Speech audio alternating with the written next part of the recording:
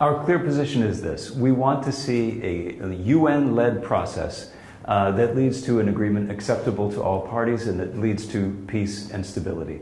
That's what's best for the region, and that's what we're going to be putting our time and energy and effort into. We want to see the naming of a personal envoy of the Secretary General of the United Nations as soon as possible, and to help that person uh, get into their work as quickly as possible with all of our support as well as our partners and allies, uh, including in Algeria.